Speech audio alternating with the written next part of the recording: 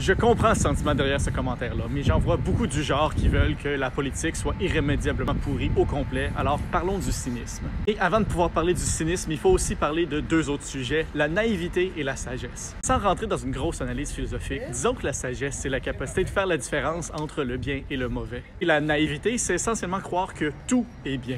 Généralement, on arrive tous au monde relativement naïf. On croit que tout est bien, que rien va nous faire mal, qu'il n'y a pas de méchants autour de nous. Et à mesure qu'on évolue dans le monde et la société, il y a inévitablement des situations qui vont venir à prendre avantage de notre naïveté. On apprend petit à petit que non, il n'y a pas juste du bien dans le monde. Ça, ça fait partie du processus qui nous mène à être capable de différencier le bien du mauvais, de gagner en sagesse. Mais comme la plupart des gens le savent, c'est dur gagner en sagesse. C'est un processus qui est généralement douloureux puis qui se fait à nos dépens chaque fois qu'on réalise que quelque chose qu'on pensait être bien s'avère être mauvais. C'est pour ça que ça peut être tentant de tomber dans le cynisme. Le cynisme, essentiellement, c'est croire qu'il n'y a pas de bien, tout est mauvais.